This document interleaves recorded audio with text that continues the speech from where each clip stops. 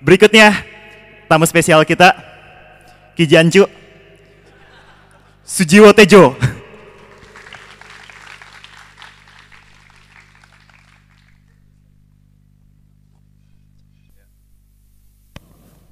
Ya, saya minta maaf nggak pakai apa itu namanya di mana-mana saya nggak bisa karena saya itu gagap teknologi bener. Uh, saya tetik saja baru dengar seminggu yang lalu gitu loh. Oh tetik, gitu. Serius, uh, serius. Bukan aku mau menghina, uh, tapi karena aku memang nggak tahu. Ketika temanku bilang pokoknya udah dua bulan yang lalu diundang tetik, ya udah. Uh, mumpung uh, di Bandung lah seneng aku Bandung. Tahu-tahu begitu kemarin ngobrol sama orang-orang, loh ternyata tetik sesuatu. Banyak hal yang, uh, gitu banyak yang aku sepelekan jadi gitu loh. Banyak banget dalam hidupku. Dulu Gus Dur waktu maju juga aku sepelekan di depan, bu, ala Gus, Gus nggak mungkin jadi jadi presiden ternyata gitu. Nah, aku ditugasi yang agak berat karena udah paling siang dan suruh ngomong soal matematik. Baiklah, aku mungkin akan ngawali bahwa Indonesia kurang maju karena matematikanya rendah.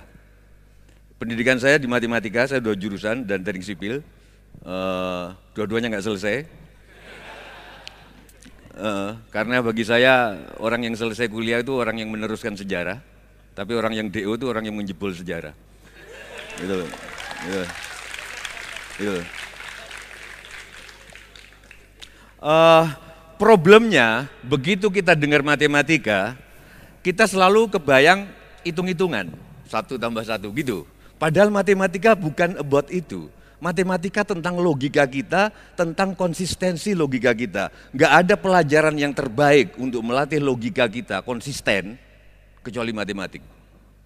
Jadi di dalam bahasa saya, di dalam benak saya, bahasa Indonesia itu nggak cuma ada bahasa Inggris, bahasa Madura, bahasa Perancis, bahasa aborigin gitu loh. Tapi juga ada bahasa matematika.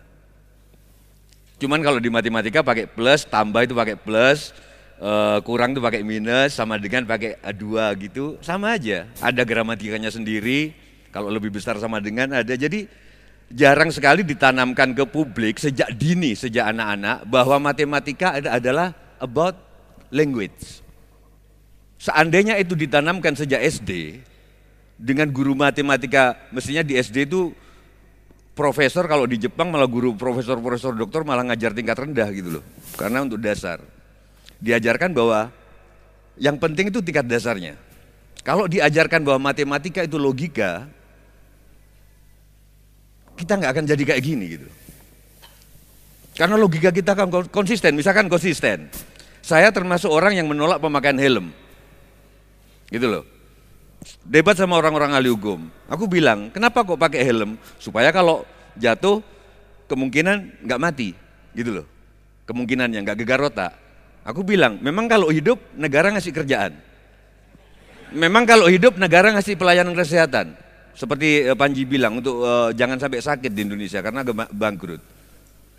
Kecuali kalau polisi bisa nyetop, eh stop, kalian nggak pakai helm, pemerintah tiap tahun sudah invest ke you, tiap orang 2 miliar per orang, termasuk penyediaan lapangan kerja, ini saudara menyanyiakan masuk penjara.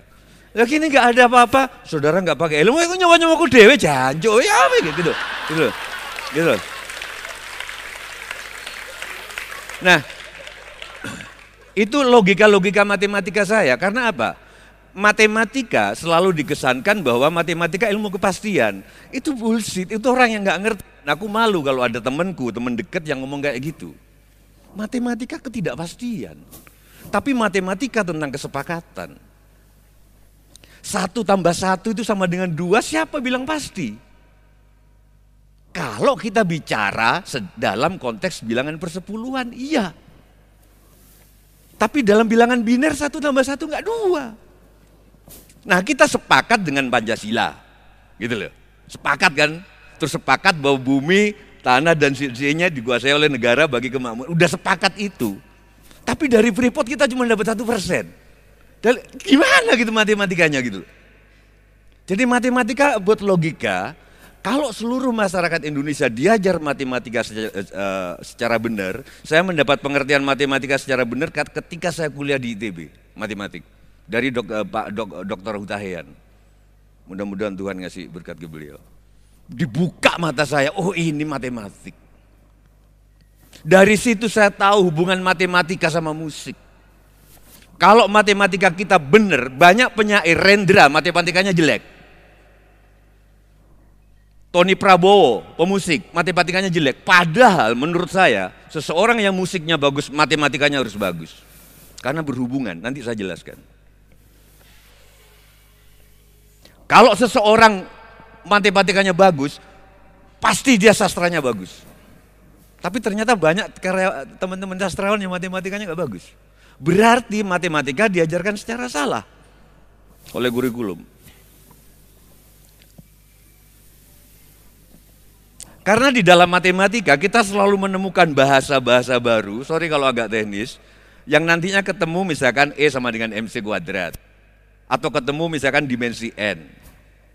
Padahal di dalam uh, bayangan kita, di dalam benak kita yang ada itu maksimal dimensi tiga gitu. Uh, tiga ruang gitu. X, Y, Z. Semua benda dilukiskan dalam itu. Nggak kebayang bahwa ada dimensi lebih dari empat, ada dimensi N. Tapi itu ditemukan dalam rumus-rumus matematika diturunkan di utak-atik oleh keisengan ketemu dimensi n. Ternyata bisa diterapkan di astronomi kemudian. Ternyata pada uh, dikatanya kata orang-orang astronom di matahari ketika gravitasi bisa menarik cahaya, di situ dimensinya teman-teman yang dari fisika bisa lebih jelaskan. Ada banyak dimensi. Jadi ada yang kadang-kadang kata-kata itu diciptakan duluan, kata-kata matematika, kemudian teknologi mengejarnya. Zaman saya di teknik sipil, karena belum ada komputer, yang dihitung itu gitu Mas Emil kan masih ingat. Gaya itu kalau kita ngeliat mau bikin beton itu, satu di pinggir, satu di tengah, satu di sana. Berapa bebannya? Dari situ didesain. Padahal sudah ada rumus matematik untuk menghitung tiap gaya deretnya itu ada deret matematiknya. Di situ tekanannya berapa di titik itu tak terhingga ada. Begitu komputer keluar, dihitung bisa lebih efektif kolom kolom dan bukan gitu mas. Lebih karena nggak enak aja deh jawabnya. Jadi setelah, nah begitu juga penyair kan di otak atik, di otak atik, penyair mengutak atik kata-kata. Aku bawakan mayatku padamu tapi kau bilang hanya. Aku bawakan cintaku padamu tapi kau bilang masih. Aku bawakan arwahku padamu tapi kau bilang hanya. Tanpa apa aku datang padamu. Dalam bahasa kita, gimana kita membawa arwah kita ya? Gimana kita membawa mayatku padamu, tapi kok masih kau bilang sajanya Sutarji. Tapi de, bedanya di dalam di dalam puisi itu hanya ada dalam penghayatan kita. Oh, dengan membaca itu, ketika aku datang ke kekasihku, aku dengan penghayatan lain. Jadi kalimat puisi membentuk dunia baru. Begitu juga kalimat matematik. Ketika Ridwan Kamil mengatakan uh, uh, sama teman-teman yang lain mengatakan, uh, atau uh, Panji, jangan mengharapkan perubahan, tapi ciptakanlah perubahan. Bagi aku itu kalimat matematik yang lahir dari utak-atik, utak-atik, utak-atik, utak-atik, lahir kalimat itu. Lalu kita menghipnotis diri kita, menyihir diri kita untuk mewujudkan kalimat itu. Kalimat-kalimatku misalkan di Twitter, aku sering ngomong, itu utak-atik dari permainan kayak matematik di... Kalau nggak salah ada seribu persamaan, A misalkan ya, A plus B sama dengan C. Lalu A diuraikan, A itu ternyata D plus F. Berarti D plus F plus B sama dengan C. C diuraikan. Matematika gitu terus, terus ketemu E sama dengan MC kuadrat. Loh intinya gitu kok. Nah dari pengalaman tadi Mas uh, Denny Kobra? Siapa? Siapa? Denny siapa? Denny? Hah? Denny Darko bilang So, semua yang orang besar itu salah satu cirinya selalu salah ngomong orang.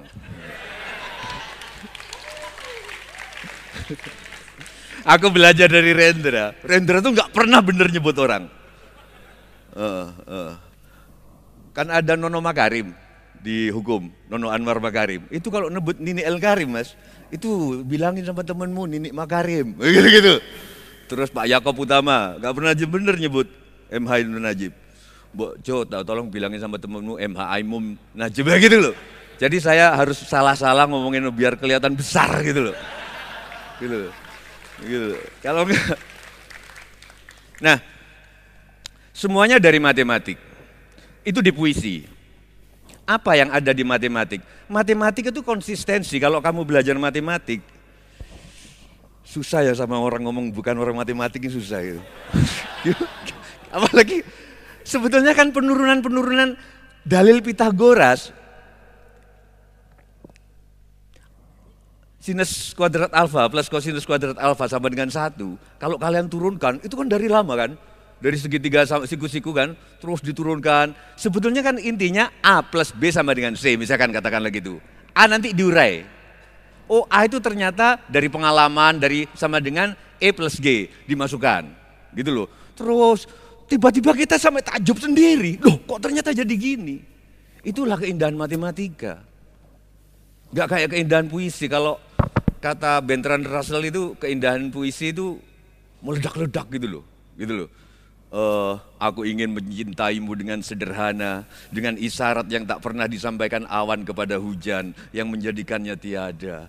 Kan keindahan matematik itu kalau indah tapi dingin indahnya. Tapi indah. Kayak orang dicium diam aja gini aja gitu loh, gitu loh, gitu loh. Gitu loh. Itu matematik. Nah, sama aja. Kita kembali ada violinis di sini.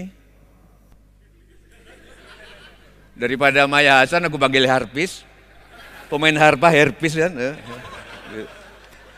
Maya Hasan kalau kayak kurang ajar kamu gitu. Paling gampang contohnya simfoni 40. Teraran, teraran, teraran,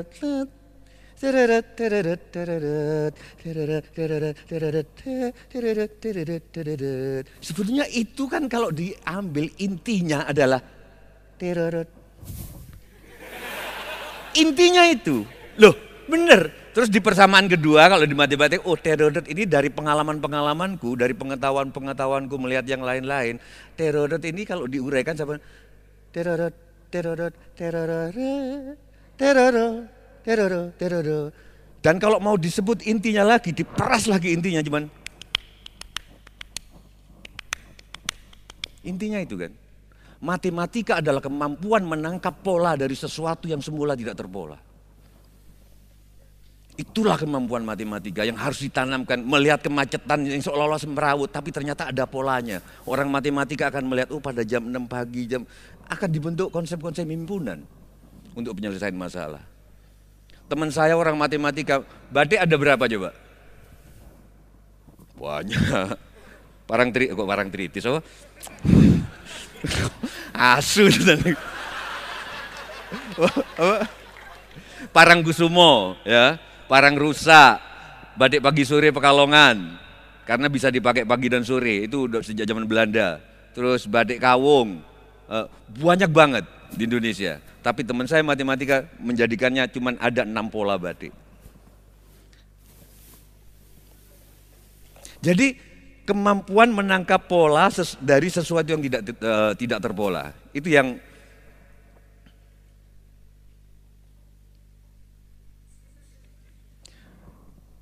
kalian dari matematik nggak sih nggak ya nggak level gitu loh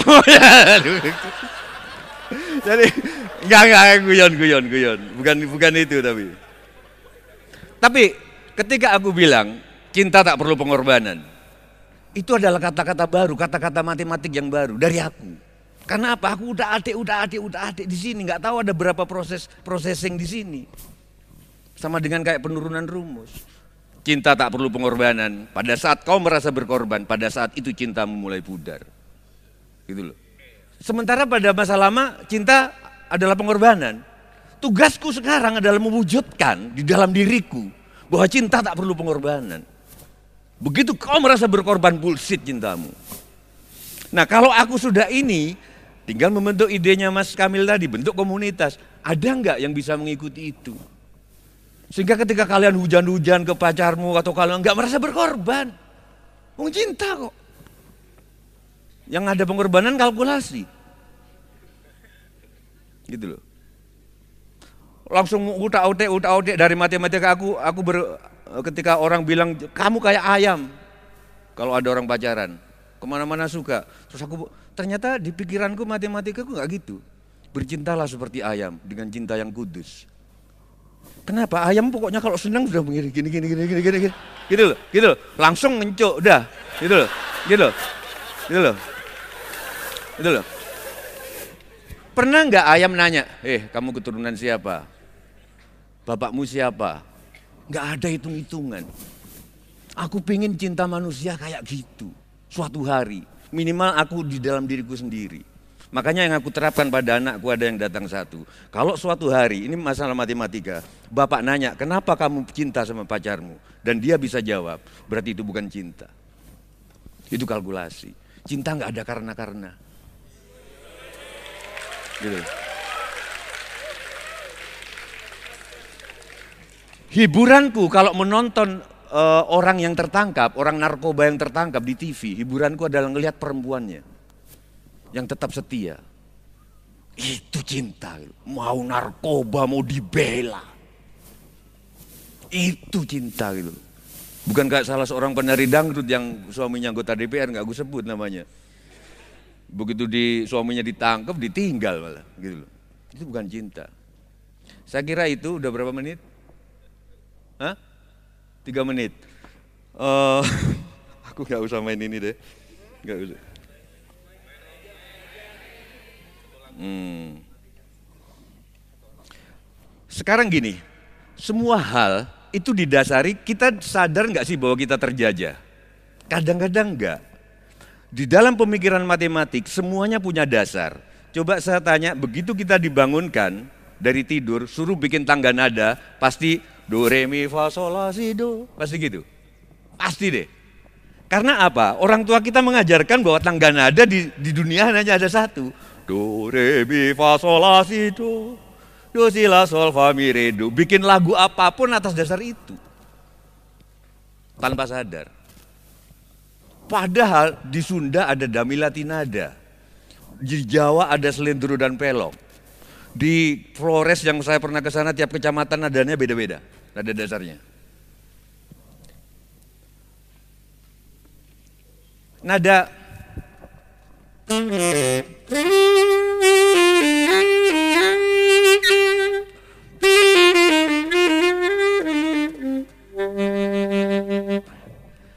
misalnya. Ra ra ra ra ra ra ra ra ra ra. Intinya apa? Do mi sol do do re mi do re sol do do re sol do.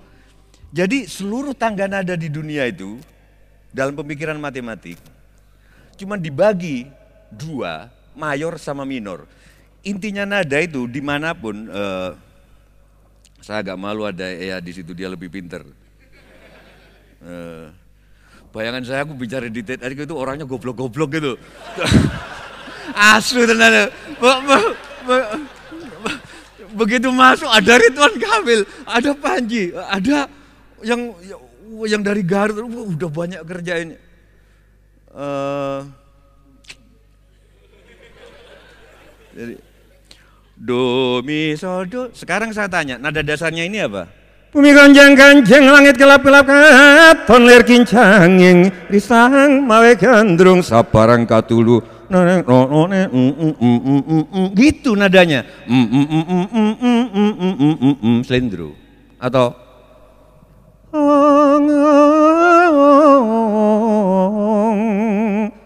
lamun mati si rojo tadi dewa ratu. Apa nggak ada dari mi fasolnya itu? Ending dari pernyataanku ini mari kita berpikir matematik. Matematik tidak sebagai hitung-hitungan tapi matematik sebagai bahasa karena itu mempengaruhi logik. Matematik erat kaitannya sama lagu erat kaitannya sama puisi. Aku setuju bahwa matematika adalah orkestrasi dari seluruh konsep, konsep arsitektur, konsep uh, mesin, teknik mesin, konsep uh, seni rupa digabung jadi satu dalam konsep matematika. Matematika adalah orkestrasi dari seluruh konsep, sementara mu musik adalah matematika yang berbunyi. Yang terakhir adalah inti dari matematika adalah mencari persamaan. Tidak ada pelajaran matematika tentang pertidaksamaan, itu hanya pengecualian. Maka dalam kehidupan sehari-hari ada gereja, ada masjid, ada Sunda dan lain sebagainya. Kenapa kita selalu mencari perbedaan? Mari kita berpikir matematika dan selalu mencari persamaan. Terima kasih.